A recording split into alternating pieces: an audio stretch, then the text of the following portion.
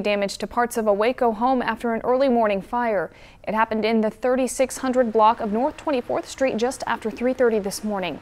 When crews arrived on scene, the house was engulfed in flames.